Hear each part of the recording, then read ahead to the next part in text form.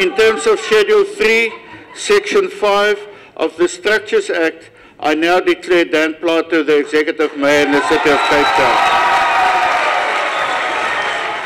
We have three nominations, namely Councillor Sotashe, Daniel Plato,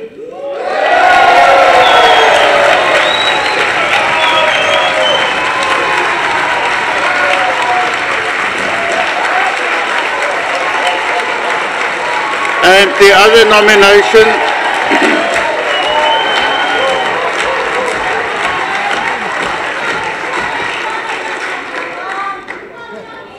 Councillors, we have another nomination, the third one, Grant Haskin.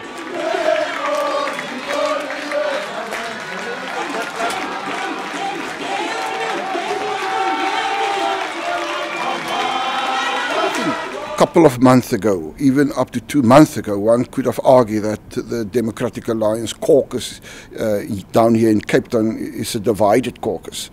But I think I've spent an awful lot of time in talking to factions, in, in trying to unify the caucus.